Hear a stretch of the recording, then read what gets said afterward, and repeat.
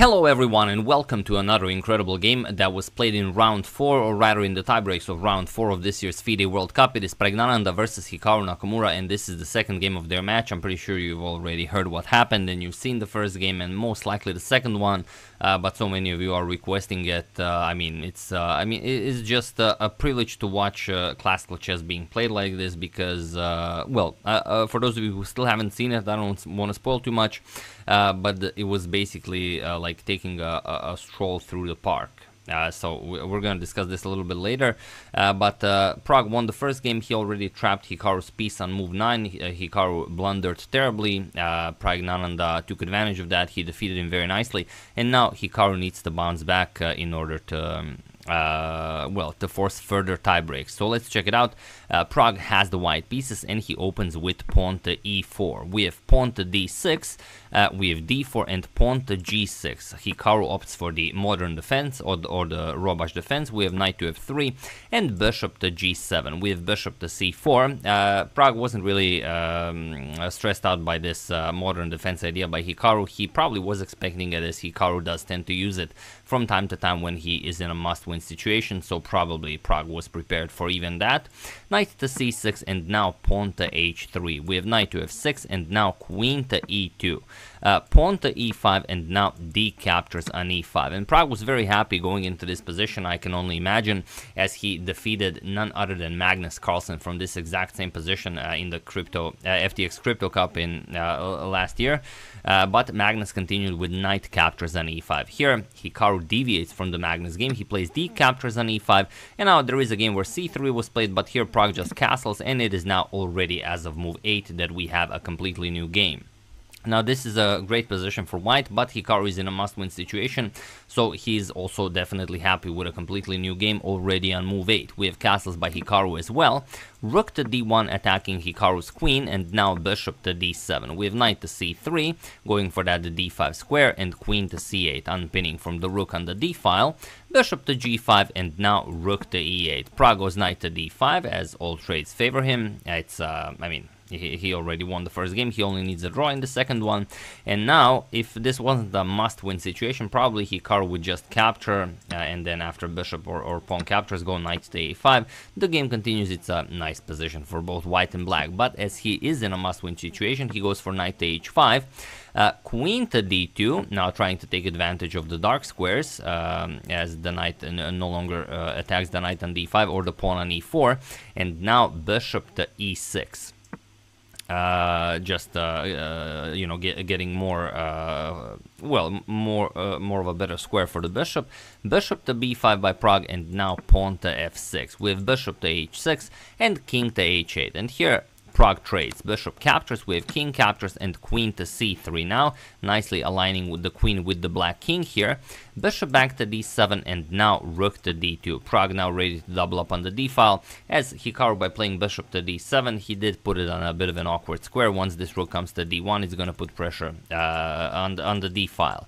So a6 and now bishop to a4. We have pawn to b5 by Hikaru and just bishop to b3. So uh, now controlling this diagonal, this diagonal, and the knight is brilliantly placed here on d5. So you can see uh, uh, how, how, different of an approach it is uh, from when Magnus lost his game to Vincent. He played a really, really long, grueling game in order to bounce back, but Hikaru decided to just go all out here. We have rook to a7 and rook 8 to d1, and now, yeah, okay, you can just allow the knight to move and your bishop to um, uh, be, uh, get under attack. So knight to b8 by Hikaru defending the bishop, but the game is already lost. Pragg is completely winning here and as he already won the first game, this means that he is now ready to kick out uh, Hikaru from the World Chess Champion, uh, from the uh, FIDE World Cup.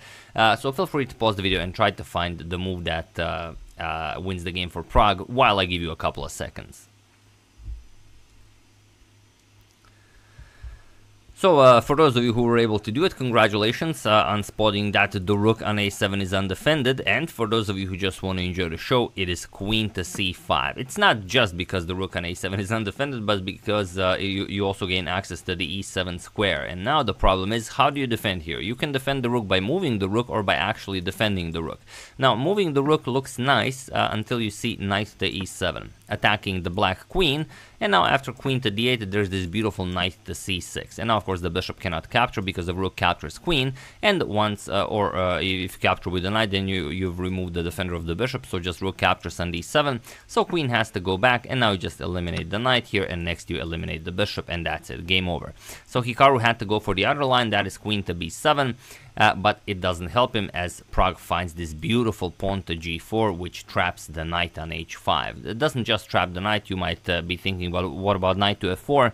Uh, sure, knight to f4, you, you can just capture it, or you can even play knight captures on f6, it doesn't really matter, because then rook captures on d7, uh, I mean, so many lines here are winning, it, it's hard to find a move here. Even knight captures on h3 with check can be played, uh, you're going to play king to h2, attack the knight, and now how do you defend this? The, the, the bishop here is hanging, the rook is hanging, also the rooks are attacking the bishop, the knight is hanging.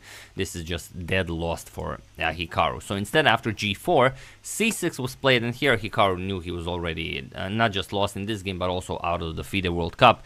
Uh, he played it very quickly, he didn't even look at the position all that much. Uh, Pragg played knight to b6, which is also the strongest move recommended by the engine, putting up a, a triple attack here on the bishop on d7, knight to f4 by Hikaru, and now just knight captures on d7. We have pawn to a5, uh, not much you can do here. Knight captures on b8, rook captures, and now queen captures on a7. Again, so many winning ideas here. You could play knight captures on e5, f captures, queen captures, attack the king, the knight, uh, but this just ends the game on the spot.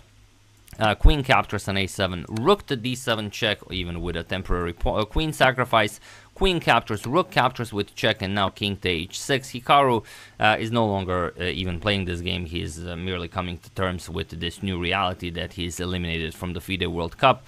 g5 check by Pragg. We have f captures and knight captures on e5. He, uh, now Pragg is up a full piece, but of course he still has to play very precise moves uh, because if anyone can come back from a dead lost position, it is definitely Hikaru, and he will try. Uh, pawn to g4. We have h captures, king to g5 now uh, pawn to f3, just not allowing him any chances. Pawn to h5, we have captures, captures, and now knight to d3, offering a trade of knights. We have a4 attacking the bishop and bishop to f7 by Pragg.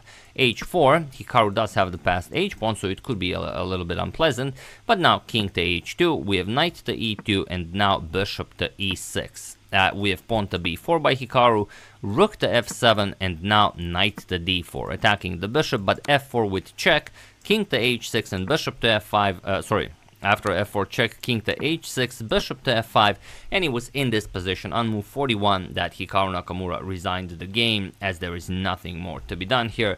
Uh, you are faced with checkmate here, and if you want to avoid checkmate, you have to give up one of your pieces, and you really don't want to do that since you're already down a piece, and after e captures, there's just no move you can play. This is covered by the pawn, this is covered by the pawn, by the rook, by the rook, and uh, well, you're just gonna get checkmated whatever you play. You can even allow black to bring a queen into the game. It's that funny. Let's say knight to e5, a captures on b2, almost bringing a queen into the game. Knight g4 check, king to h5, knight f6 check, king to h6, and now rook to h7 will be checkmates. Okay, almost bringing a queen to the game.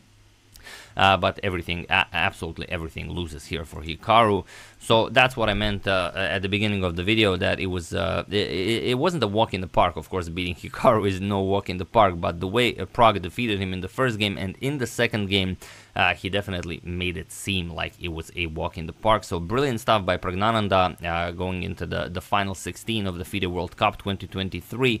Uh, we're going to see how he does, and uh, these are the uh, remaining participants of the FIDE World Cup. So let's check it out.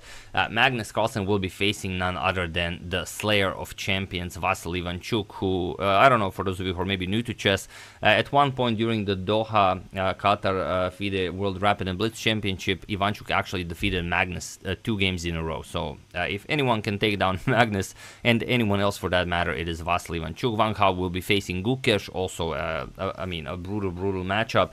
Nijat Abbasov, uh, who eliminated Peter Svidler, will be uh, facing Salem Saleh. Vidit will be facing Jan Nepomniachtchi, the former World Championship challenger. Also, another former World Championship challenger, Fabiano Caruana, will be facing the winner of the FIDE World Cup 2021, Jan Krzysztof Duda, who also eliminated Magnus Carlsen in the semifinals. Uh, the uh, Dominguez Perez will be facing Alexis Sarana. Arjun Erigaisi will be facing Nils Grandelius. And uh, who defeated Hikaru, will be facing Ferenc Berkes. So those are the final 16.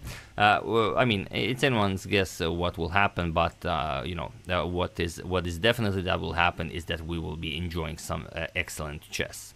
Uh, so yeah, uh, once again, really hope you guys uh, enjoyed it. Um, very nicely done by all of them. I would like to uh, I would like to thank uh, my wife beats any wife at chess, Angus Cunningham, Peter Booth, Nagarjuna Ponugoti, and uh, Philip uh, Hextenberg for a contribution to my channel. Thank you a lot, I really appreciate it. as usual, you can check two of my previous videos here. Thank you for watching, and I will see you soon, continuing the coverage of the FIDE World Cup until it finishes. so thank you all, I will see you soon, and have an excellent rest of your day. Hello everyone and welcome to another very nice game you guys requested uh, from round 1 of this year's Julius Baer Generation Cup and also a very nice example of why it's called the Generation Cup. Here we have the 53-year-old uh, absolute chess legend Vasily Ivanchuk is playing against 17-year-old uh, Indian Grandmaster Praggnanandhaa and uh, it is, uh, well, quite quite um, uh, an interesting game as it usually is when both Vasily is playing and when Praggnanandhaa is playing. so let's check it out. Vasil has the white pieces and he opens with pawn to e4. And uh, uh, just a quick heads up, uh, this game features 17 moves of known theory of the Ruy Lopez. So let's uh, dive straight into it. So pawn to e5, knight f3, knight to c6, and bishop to b5. The Ruy Lopez is on the board. We have a6, Morphy's defense, uh, bishop to a4 and now knight to f6. We have castles and pawn to b5 now.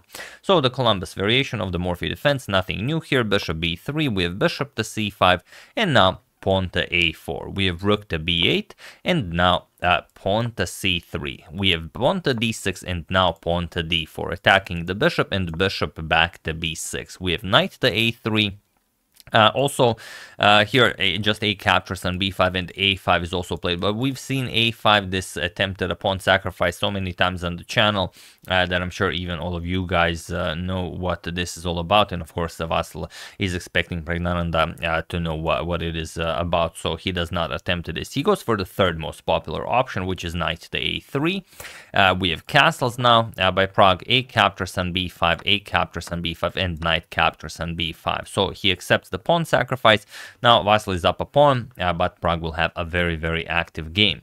And now uh, what's uh, what's going on with the e4 pawn? Of course, if you capture this bishop d5 and you just blunder a knight, so you can play that. So here, Pragg just continues development, bishop g4, uh, now at, at, attacks the knight, puts more pressure on the d4 pawn, and the bishop back to c2. Now defending the e4 pawn, we have bishop captures on f3, and now g captures on f3. So this is all very standard stuff. This position happened happened many, many times in the past. Knight to h5, uh, preparing to bring the queen into the game, and pawn to f4 now. We have queen to h4, and now f captures on e5. We have d captures on e5, and now uh, the position, of course, has been reached before, like we've said, this is move 17. Uh, d5 is a known move, and also bishop to e3, countering the bishop on b6 is a known move, but here we have king to h1 by Vasil, and it is now as of move 17 that we have a completely new game. So it definitely makes sense to move the king uh, uh, out of this diagonal and prepare rook to g1 to start putting pressure on the black king. If you can uh, develop the queen and bishop, for example, play rook g1, rook g2, bring the other rook to g1, could be very good for white. Uh, but that's a lot of moves. So here, uh, Pragg has to decide how to go about this. Does he just play e captures on d4, which is the standard way to do it? Probably you would do it in a classical game, but this is rapid, so Pragg goes knight captures on d5 uh, sorry, not knight captures on d5, bishop captures on d4. Uh, we have knight captures on d4, uh, knight e captures on d4, and now c captures on d4. And now comes rook to b4, putting pressure on the d4 pawn. Uh, and now uh, how can Vasil deal with this? He plays bishop to e3. He just uh, defends the pawn. Uh like I said, this is a rapid game, but if this was a classical game, I will show a nice line rook to g1. And now the, it's just very hard for black to play this. For example, if rook captures on d4, you will play queen to f3, and now uh, it's uh, very hard to deal with this. Bishop to g5 is coming, uh, and it's a very, very uh, hard position uh, to handle. Of course, you can play something like rook d6, and then if bishop g5, knight d4, attack the white queen and the bishop.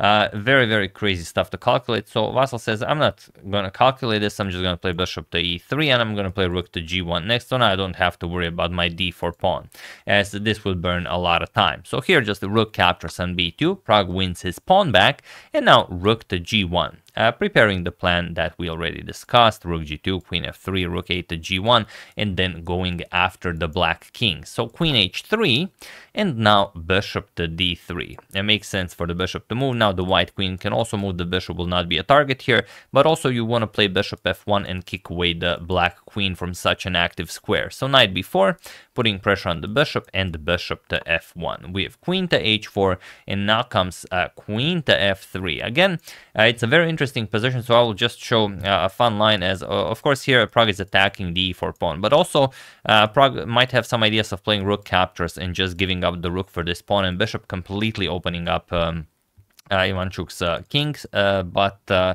for example, rook g2 is incredibly strong. You just prevent rook captures on f2, and you don't care about the e4 pawn, because also the, the knight here would be uh, hanging, and if Pragg just tries to force matters uh, by, by giving up a knight, let's say queen captures and knight to c2, now attacking the rook and the bishop, with some ideas of bishop captures, pawn captures, and then you open up the king side, doesn't really work. Queen g5 goes for checkmate, and after g6, just rook d1, and nothing nothing to worry about here now. Knight captures, queen can also capture.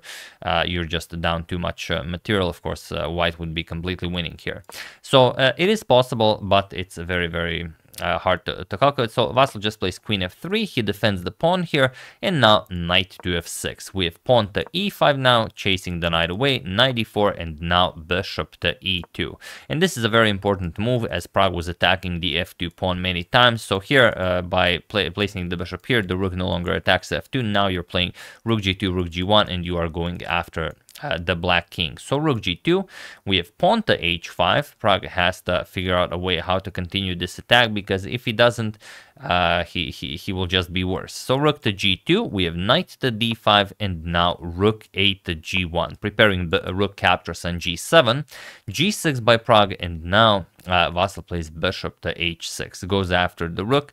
Uh, also, you could consider a move like bishop to c4. Here, uh, black basically resigns, uh, but there is there is quite a lot to calculate. The, the, the knight is hanging, and also just rook captures on g6. Even if, even if you defend it with knight e7, uh, white can still play rook captures on g6, and if knight captures queen f5, uh, you are preparing rook captures. Also, queen captures as the f pawn is pinned. Also, the knight is um, is attacked, so not all that much uh, to do here. But you could also go for rook captures and g6 right away. For example, uh, king h7. Now you play rook to h6 check. King goes to g7. Now rook captures and h5. Very very unpleasant stuff here for uh, for black. There's just no way out. If knight captures an f2, just king g1, and if rook b1 check, king g2 there's no way out of this. Uh, you, you, will have to trade queens here, otherwise you're getting checkmated. Uh, for example, uh, captures, captures, now rook g5 check, and also uh, the knight goes, um, uh, and now it's uh, you will have two bishops for a rook, and of course the position is completely winning for for white. But okay, after g6, we have bishop to h6 going after the rook, which is also fine. rook f to b8, and now pawn to e6 by Vasyl. Uh, queen to f5 again always a possibility uh, as the the g pawn is pinned. So here knight d to f6 uh, and now e captures on f7 with check. King captures and bishop back to e3 uh, now again defending the f2 pawn we have g5 by Pragg really just relentlessly attacking here. Uh, it's incredible how how Pragg is keeping everything together and now uh, Vasyl played rook captures on g5 and with this move he single-handedly uh, uh, delivers uh, Pragg all of the advantage he had right back to him. Uh, because if you just play bishop captures on g5, which seems like a, a you know a reasonable idea, uh, there's uh, no good reply. Because after knight captures, you're gonna first move the bishop. You don't want a bishop to hang here, so just bishop c4. And after the king moves, now you play rook captures on g5, and there's no saving this position. If rook captures on f2, of course, this is possible. Just rook g7 check, king d8, and now you go for checkmate. Rook g8 check you give up the rook, knight captures, queen d5 check, and whatever you play, uh, you, you get checkmated. King e8, rook captures with check, uh, rook to f8, or you move the king, you are getting checkmated of way. Queen f7 check here, rook captures on f8, this is checkmate. So uh, this is uh, the way to go. However, Vasyl played rook captures on g5, and it seems like it's the same idea, uh, but look at this. Pragg plays knight captures on g5, uh, Vasyl plays bishop to c4 check now, expecting Pragg to move the king so he can capture on g5, uh, but Pragg just says, nope, knight to e6. So Pragg captured on g5 with the knight, and now with that same knight, he blocks check from the bishop. Uh, this is something you would see if you were playing chess in a bar. I remember when I was, uh, you know, still playing chess at bars regularly, uh, this, um, you know, kind of thing happened very, very often. Uh, but yeah, okay. Now, uh, can still hold a draw if he, for example, captures, captures queen c6 is enough for a draw, but he goes pawn to d5. Uh, he still wants to win this game, but now Pragg just picks up the bishop as well. Uh, queen captures on c4, d captures on e6 with check, queen captures on e6, and now queen to g3, hoping to get some action along the g file, uh, but queen to c6 with check. Queen, we have pawn to f3 and now just rook to g8 and he was in this position. On move 38 that Vasily Ivanchuk resigned the game uh, as there is nothing more to be done here. The queen is attacked, and once you move the queen, doesn't really matter where, uh, you can just trade here. Rook captures, bishop captures, and as you can see, um, uh, Pragg is up a full rook, and there is no uh, way for, for Vasyl to even threaten Pragg's king on f7, so of course um, it makes sense for him to resign here. And no, Vasyl wasn't low on time, uh, so uh, and that's not the reason that he blundered in the final position he had, like, or even in the position that he blundered, he was like a minute up on the clock. Pragg was under a minute. Vasyl was uh, over over a minute, so uh, it wasn't really a time issue. It was just a just a, a, a you know a chucky moment that uh, didn't go uh, his way. um, so yeah, uh, that's the game. Hope you guys enjoyed it. Really nicely played by both of them, but really, you know, just uh, pure uh, uh, uh perseverance and resilience by Pragg, just withstanding all of this pressure and you know waiting for for Vasyl to make a mistake. And as soon as he made one, just I mean, it's beautiful. Uh, here, rook captures on g5, knight captures, and then of course in your mind the king moves and everything is going your way, but Pragg just picks up the knight and just moves it, and you're like, what, what, what did I just do? Uh, but yeah, that's chess. Uh, yeah. So yeah. Uh, that's the game. Uh, hope you guys uh, enjoyed it. Very nicely played by Pragg. Uh, I would like to thank Matthew Garner, Luke Longbone, Joy Tyler, Laura York, and Marcello De Barros for a contribution to my channel. Thank you a lot. I really appreciate it. As usual, you can check two of my previous videos here. Thank you all for watching, and I will see you soon, continuing the coverage of the Julius Generation Cup until it finishes, most likely. Uh, so thank you all. I will see you soon and have an excellent rest of your day. And use hashtag suggestion if you have a game that you would like me to cover that is very nice for others to see. Uh, see you soon. Hello everyone and welcome to a really awesome game also from round one of this year's Baku Open. Uh, it is a, a, FIDE master from Kazakhstan, uh, Lia Kurmangalieva against uh, international master uh, from Uzbekistan, uh, Abdi Malik Abdisalimov and it's a really wild game as, I mean, of course it is, you guys requested it, features uh, some very uh, interesting moves, features maybe even a, a, sacrifice of a very valuable piece. so let's dive straight into it and see what this is about. Uh, Lia uh, has the white pieces and she opens with pawn to e4. We have pawn to g6 and now pawn to d4. Just grabbing the full center, we have bishop to g7, uh, knight to c3 and d6, going for the um, uh, modern modern defense or Ordo Robatsch, uh, and it's uh, it's a fairly popular opening nowadays, even amongst the top grandmasters. We have pawn to f4 and now pawn to a6. You have seen this many times, even on this channel. We've shown a couple of games by Magnus. Also, if you guys remember remember Hikaru Nakamura won a very nice game with the black pieces with this exact same setup against Viswanathan Anand in uh, 2018. It was a blitz game, but still a very nice game. Uh, and they continue uh, in the, uh, following that game for quite a few moves. Knight f3, we have pawn to b5, bishop to d3, and now bishop to uh, b7, putting pressure on that e4 pawn. We have pawn to a4 and pawn to b4 as uh, black has to decide what to do with that pawn, whether to capture, whether to advance, or whether to do nothing and just wait for a capture on b5, uh, which is not great as that b5 square is being pressured a lot. So here, knight back to e2, and now knight to d7. We have castles and pawn to c5. So all uh, very nicely done by both of them. Pawn to c3, and now uh, we have knight to h6. Here uh, the, in the game uh, that I mentioned, um, uh, Anand versus Nakamura, b captures and c3 was played, but here we have knight to h6, and now uh, there are a few games that reach this position. a5 is a known move, knight to g3 is a known move, but here we have pawn to h3, and it is now as of move 11 that we have a completely new game. So let's see uh, how uh, he continues. after h3, we have castles, and now pawn to g4, just going all out here, not um, not, looking back. And uh, there are uh, a lot of candidate moves you could consider here. You consider b captures on c3. You could consider c captures on d4. You could consider uh, sort of a, a, king to h8, a nice uh, uh, a nice waiting move, improving the position of your pieces. But he goes for pawn to f5. It looks like a pawn sacrifice, but it's not. He's gonna win the pawn back, and it's gonna open up his dark square bishop to uh, to attack. So this is what uh, Abdi Malik wants. Uh, we have captures on f5, captures on f5, and now pawn to g5. This is how she uh, kicks away the knight to, to grab the f5 pawn.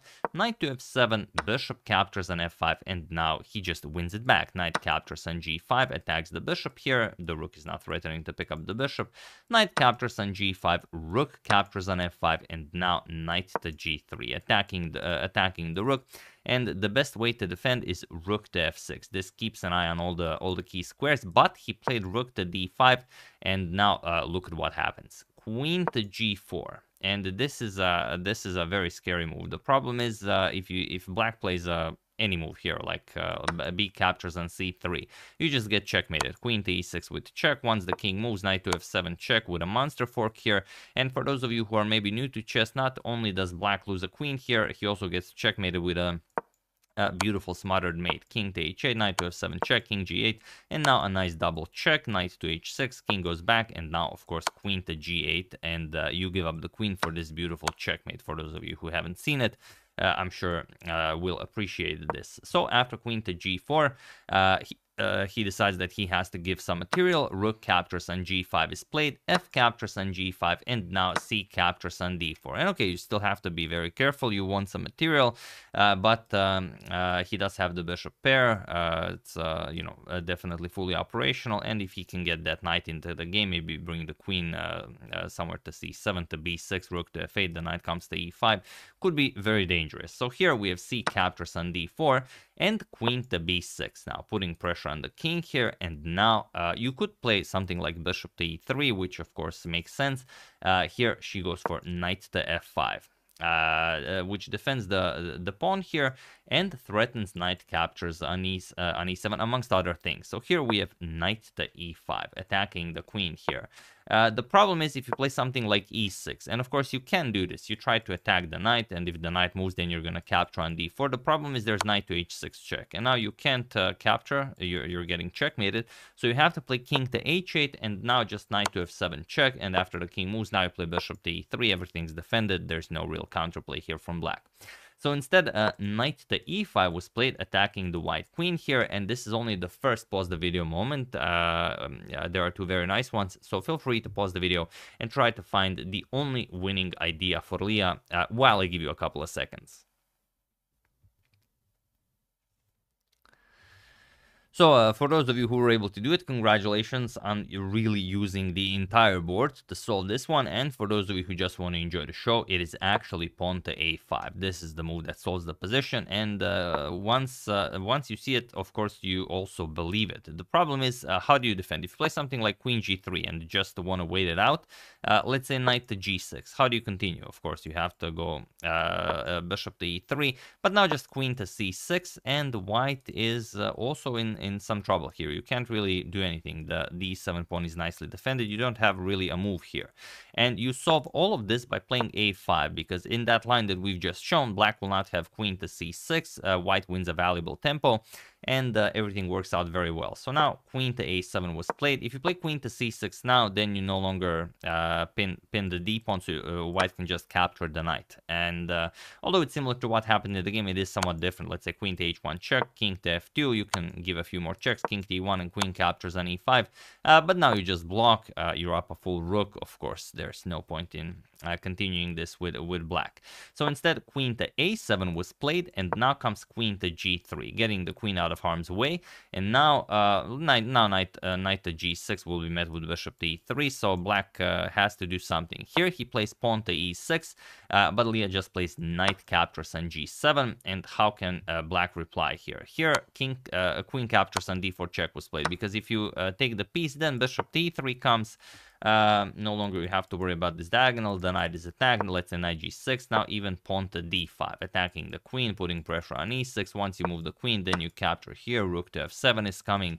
And again, a total collapse uh, for black. Uh, Abdi Malik cannot afford this. So after knight captures on g7, he played queen captures on d4 with check. Now comes bishop to e3, attacks the queen, queen to e4, now going for queen to h1.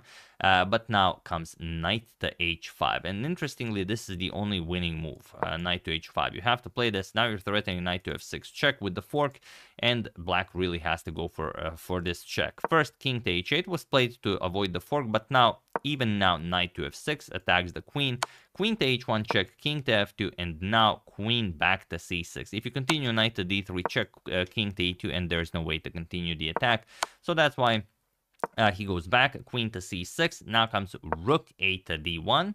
Uh, we have rook to c8 and now rook to d2, stopping any any checks on the second rank. We have queen to c4, uh, just uh, you know nicely uh, nicely controlling squares with the queen, uh, and now king to g1. We have queen to c6, again going for that king to queen to h1 with check, but just king to h2. This avoids everything. We have rook to c7, controlling the seventh rank. but now for the second and last time, feel free to pause the video and win the game for Leah while I give you a couple of seconds.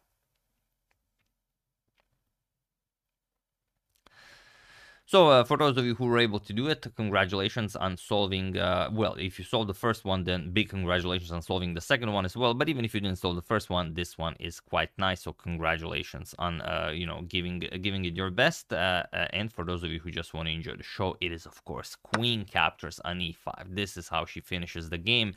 And it's quite a beautiful way to finish it uh, at that. There's no good way to reply here. Like you could play something like Queen to g2 to, to you know, be uh, funny about it and maybe to prolong the game a little bit.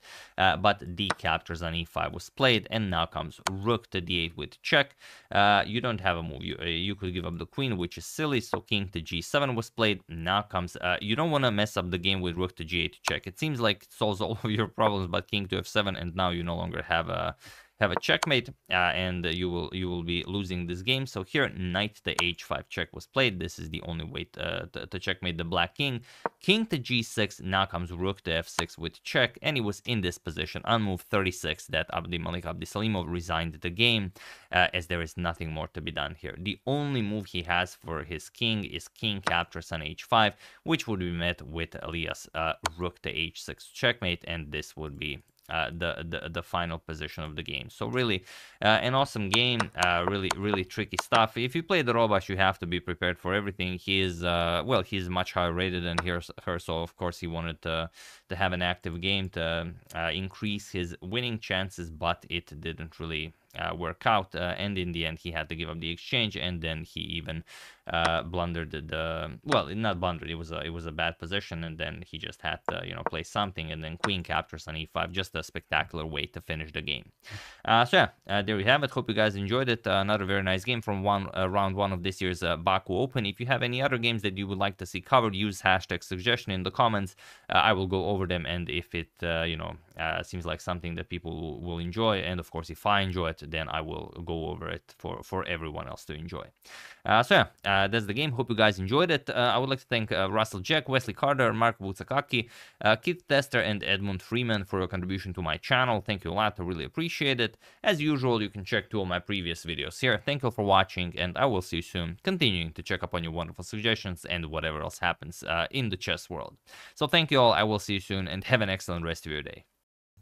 Hello everyone and welcome to the first game we'll be showing from the uh, Julius Baer Generations Cup. It is the 7th of 9 events of uh, the uh, $1.6 million Meltwater Champions Chess Tour and it's uh, Arjun Erigaisi versus Magnus Carlsen. So Magnus is back and for those of you who are wondering and I know everyone will be asking this uh, in the comments when is Magnus uh, playing Hans? Magnus is playing Hans in round 6 of the preliminaries and then we'll see, we'll take it from there uh, if the if the game happens. Uh, so let's dive straight into it. It's a very cool, uh, quick game, uh, so uh, you know, uh, don't blink.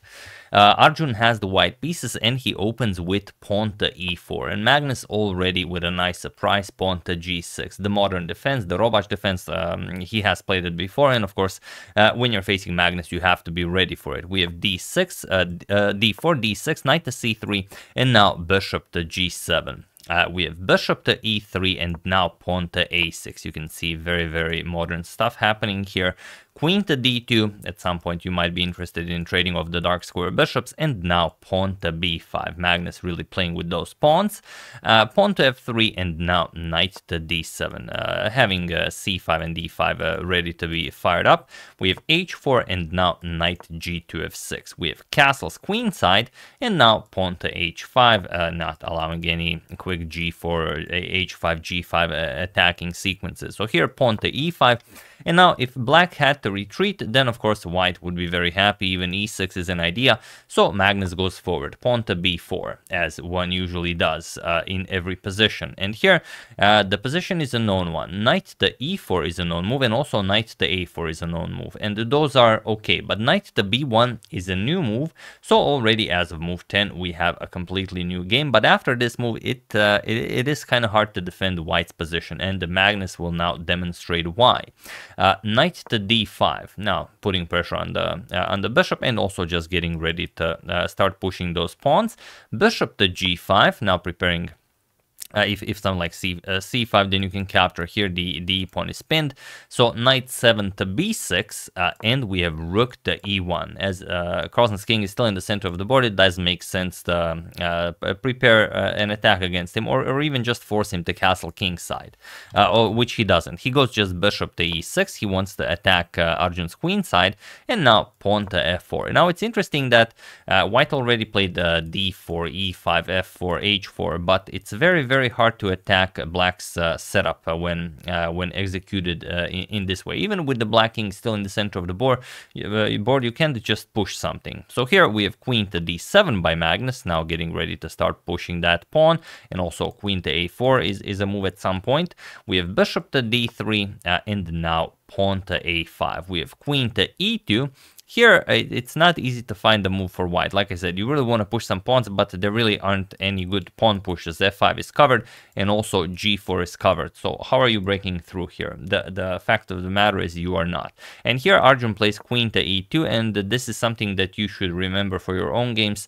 Uh, when you've castled queenside in uh, structures like these, it's uh, well, it's sort of maybe you, you could have this like in a uh, in a knight or with opposite side castles. Okay, if, if, if c5 c captures and d4 was played, some something similar, but if the queen is on e2, uh, Magnus gets a great idea. He castles queenside. The point is you can't really uh, start c5, c5, bishop b5, and uh, okay, you blunder your queen.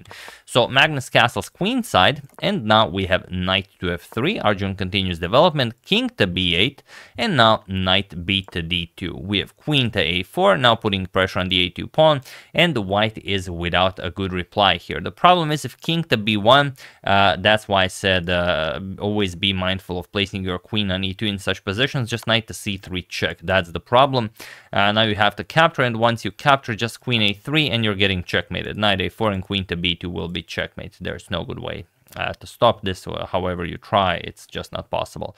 You might, uh, uh I mean, e even knight here to guard this, just bishop captures it, there's no way to survive.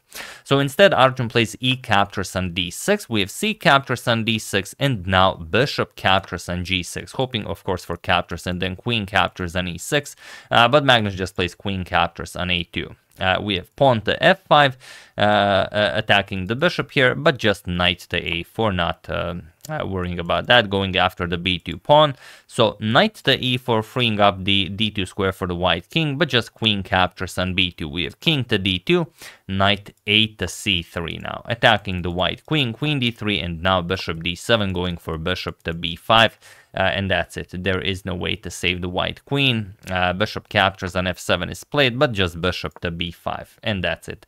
Queen captures on b5 was played, knight captures, bishop captures on d5, but now just knight captures on d4, and he was in this position on move 26 that Arjun Erigaisi resigned the game, as there is nothing more to be done here. Uh, once you try something, uh, it's very hard to find the move you, you can actually play. c2 is hanging.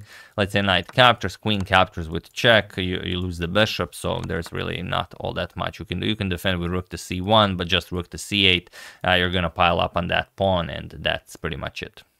Uh, so yeah, nicely played by uh, by Arjun, but uh, uh it's hard to say if this was, uh, uh, you know, if he messed up the preparation as, um, like I said, 94 and knight a4 are, are the known moves that actually work in this position for white, or did Magnus just not fall for any any trick in the in the preparation? whatever the case, very, very nicely played by Magnus. He took advantage of the of the only opportunity basically Arjun gave him and did not let go for the for the rest of the game.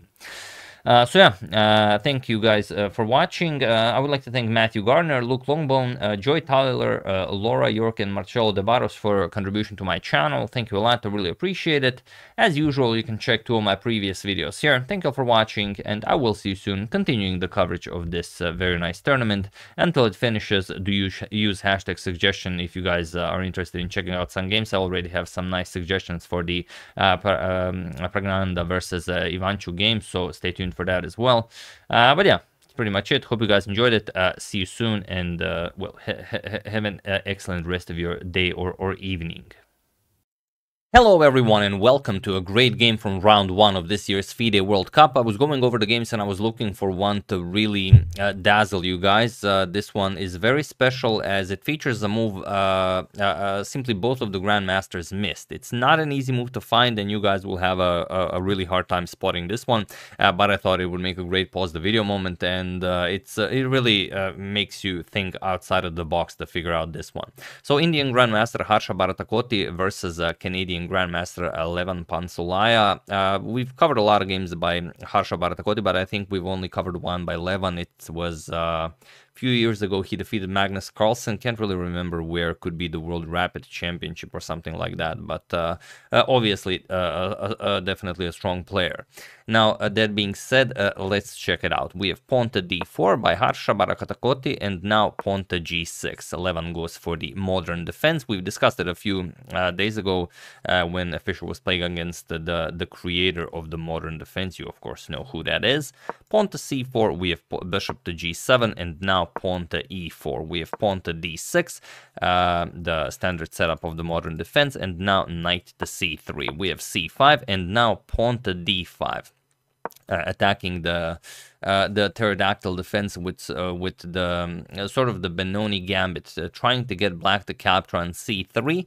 And it's not the most common move you will see here. There are many moves that can be played here, like you go a6, b5, e6, knight to f6. Like all of these are very natural moves. Knight to d7, but bishop captures on c3 check is actually the fourth mo fourth most popular move in this position, and you should know it. I remember the, it was a long, long time ago, maybe 11 years ago. We were playing the Croatian Team Championship, and uh, we helped our board one prepare for his match on board one, and uh, of course he knew that uh, the I don't know he who he was playing against with the white pieces maybe um, yeah, I think it was maybe FIDE Master and Nenad Frauth, or I, I, could be wrong, but I think it was against him.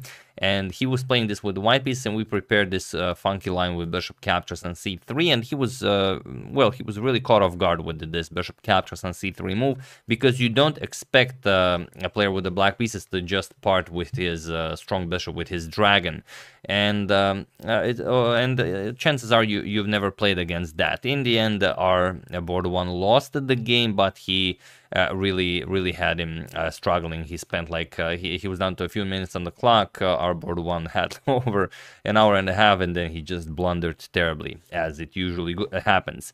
But okay, b captures on c3, and now pawn to e5. So you got rid of your dark square bishops, uh, bishop, but now your opponent will have uh, some problem developing his own light square bishop with all of his pawns on light squares. So bishop to d3, we have knight to d7, and now pawn to f4. And there is a game where e captures on f4 was played, but here we have queen to f6, and it is now as of move 8 that we have a completely new game. Uh, so how do you react to this? Of course, uh, Levan wants to capture on f4 to put pressure on c3, so uh, Bharathakoti just plays knight to e2, guards the c3 pawn. queen to h4 with check and now g3. This does somewhat weaken white's king side even further, uh, but you know, uh, for example, if you've played the King's Gambit, that this doesn't really offer black that much. Uh, queen to e7, we have castles, and now pawn to h5. You've created a weakness, and now you want to hone in on that weakness um, and attack it. We have pawn to f5. You can already see it's move 12, but this is not a friendly game. This is already quite to the battle. Uh, g captures on f5, e captures, and now pawn to f6. Uh, usually a very dangerous move to play, but here you just close the position and uh, say, okay, my king will remain here. I'm going to weaken your center with b5, and then I'm going to play h4 at some point and really put pressure on your uh, on your king.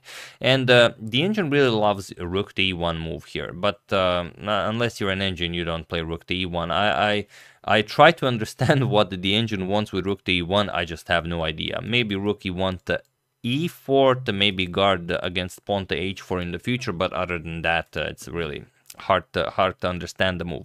So here, king to h1 was played. It's a very nice human move, clearing the g1 square for the knight. The idea is, of course, knight g1 to f3 to h4 and then to g6 at some point, if, uh, of course, you allow it.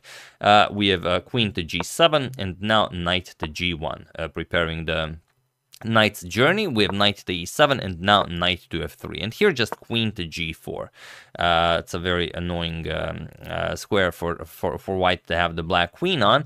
Bishop back to e2. You can't just wait here. If you just wait here and do nothing, b5 is coming and then white will just be under a, lot, a whole lot of pressure. So here we have bishop to e2, now threatening all sorts of nasty discoveries and you can't just ignore this. You have to play, uh, either, either move the queen to e4 or capture on f5. If you just continue with your plan, knight g4 uh, traps the queen and that's it. Uh, black loses the game. So after bishop to e2, we have queen captures on f5. Uh, Levan uh, accepts the challenge. Knight to g5 now, uh, putting pressure on that black queen.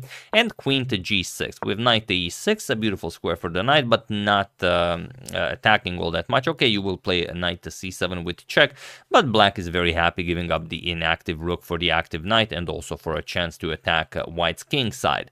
So knight to b6, and now we have bishop to d3. Here, you might be thinking, okay, how do we continue here? As it's a classical game, I'm just going to show you a few few fun lines. Let's say bishop captures on h5, if rook captures, queen captures, and now, of course, if queen captures, you're going to deliver knight to g6, and uh, knight to g7 check and pick up the queen. So you're probably going to play bishop captures on e6, and now we will see queen captures on g6, knight captures, d captures on e6, and then king to e7, and you're going to pick up that e6 pawn with a fairly equal game. Uh, on the other hand, you could also consider knight to c7 check right away away. Let's say king d8, knight captures on a8, knight captures, and now just bishop to d3 to be uh, very annoying here.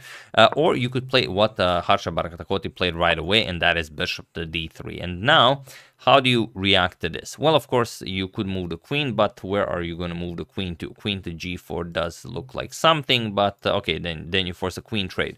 Black really doesn't want to force a queen trade here. Black wants to keep the center closed and attack the white king. So you might consider something like pawn to f5, but uh, then rook captures, uh, not looking all that great.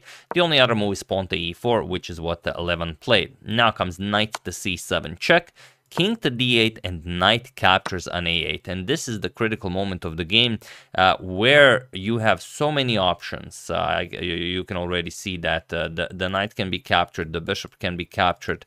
Uh, what would you play in this position? It's such a such a tricky one. Uh, feel free to pause the video and try to try to find uh, you know a, a plan for black here. How would you proceed? While i give you a couple of seconds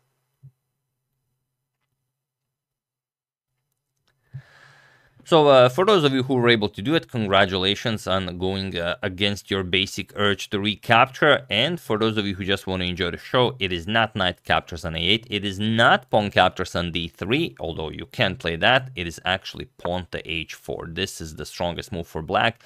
And uh, the reason is, of course, uh, how do you how do you defend against pawn captures here? Well, one way to do it, and pretty much the only way to do it, is rook to f4. Now, how, how, how do you react to this? Well, point is that if h captures on g3 now, you're going to play bishop captures and attack the black queen here. But even though this isn't very impressive, rook captures on h2 with check, king to g1, and now how do you... Okay, your queen is still hanging, you can play something like bishop to f5, uh, and now, okay, let's say even rook captures on f5, knight captures, and now rook to b1. You, you've survived the attack, but chances are you will get checkmated here. Uh, but you don't even play that. After rook to f4, there's even a nicer way to play, and that is e captures on d3. And now, after knight captures on b6, you will play a captures on b6. You will even allow pawn to g4. Uh, it's sort of a not a tactical way to crush white, but a positional way to crush white. And now you will prevent white from playing h3. You will play h3 yourself. Uh, and now you will go after that uh, g4 pawn. If bishop to d2, you will just prepare it, rook to g8, and now whatever white plays, let's say queen to f1, you put some pressure here, it doesn't really matter. Bishop captures on g4, and uh, rook captures on f6 uh, is impossible now because queen to e4 with check, and you will get checkmated now very soon. Uh, you have to go to g1, and then you go under the mask of the of the rook, so of course that's not uh, not happening. So rook to e1 can be played, but now you just continue with queen to h5, and white is basically without a move. So just completely crushing white positionally.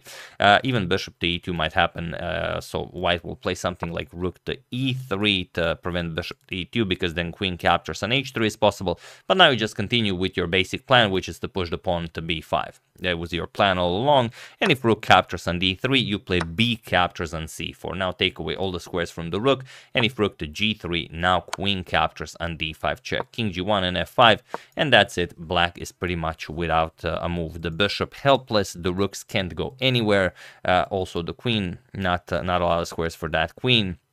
Uh, you can play the king to c7, get the rook to d8, push the pawn here. You could also get the knight into the game uh, very nicely. Let's say knight g6 to e5 to d3. It will be a beautiful outpost for the knight. This is just dead loss for white. Um, uh, so you, you, you, basically choose uh, how you want to do it. But in the game, it wasn't played. E captures on d3 wasn't played, which is also very nice. In the game, knight captures on a8 was played, and this allows white back into the game. Bishop to e2. And now pawn to h4 just isn't as potent because here uh, you can play g4. And if h3, you can play bishop to f4 now already with the threat of bishop captures on d6. And if king to c7, you can just play queen to c1 uh, and you don't have to worry about anything. If rook to g8, trying to go after the g4 pawn, even queen to a3 now with threats of queen a7 or even queen captures on c5 as the d6 pawn is pinned, uh, black is just getting destroyed here. So here bishop to h3 was played attacking the rook, rook g1 and now knight to b6 but now we have bishop to f4 putting pressure on the pawn here. So f5 defending it with the queen and now rook to b1 preparing to, uh, well basically the idea is just queen b3 and you play a4 a5 kick away the knight and capture on b7. So king c7 trying to add some defenders there but it doesn't help. Queen to b3 we have knight e to c8 and now pawn to a4 a5 will dislodge the knight and then b7 just, uh, sorry about that, b7 just hangs. Bishop to g4, and now bishop captures on g4. h captures, although it opens up the h file, isn't all that impressive, just a5. You're, you're not in time to organize anything on the king side. So queen captures on g4 was played, maybe with some ideas of queen f3 check, uh, but um, uh, Harsha just shows that it doesn't really matter. a5. Now queen f3, okay, you could play this and uh, maybe even attack the white king a little bit, but it uh, it, it blunder, I mean, not, doesn't blunder, it loses a piece and you will not gain anything for your attack, even just a nice king to g1 to prevent this from uh, coming with a pin. And if h captures, h captures, you will play queen h5. There will be one check, but that's all there is. Uh, queen a2 can be played, uh, now a nice check, king to f2, the queen is hanging. Once the queen goes back, you move the queen, offer a trade, you're up a piece, completely winning. So after a5, knight to d7 was played, now comes queen captures on b7 with check, king to d8, and now rook b to f1 stopping queen f3 uh, we have pawn to e3 trying to get that pass pawn up the board uh, but now queen to b1 and now okay if you play e2 just rook to f2 and the pawn will fall. So after queen to b2 rook to e8 was played but now just rook to e1 we have pawn to e2 rook to g2 and here one last trick queen to f3. Now, although uh, you cannot uh, move the the g rook, you could play rook captures on e1, but uh, rook captures on e2. But this would be a terrible blunder because of queen to f1 check. Rook now has to block, and then you capture the rook here. And now, of course, uh, you are up a full piece and completely winning.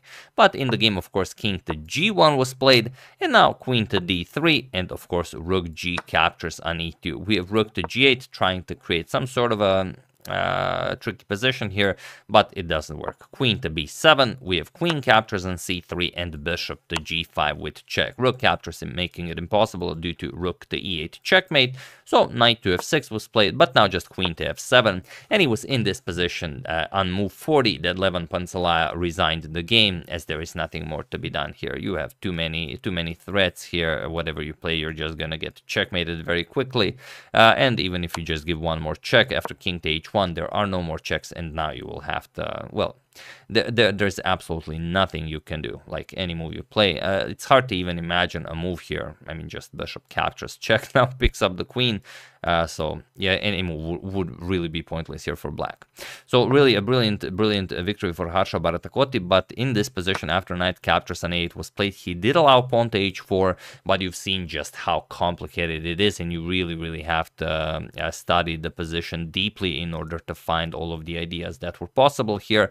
Uh, but in the next game, uh, Levan Pantsulaia retaliated with the white pieces, uh, creating an even faster win. He won in 31 moves, so they will have to settle it in tie breaks, and then we will see who will proceed to round two to face um, some of the other players who have won their encounter, and also some of the players will be uh, paired with those in the top 50 who were seeded straight into round two of the FIDE World Cup 2023.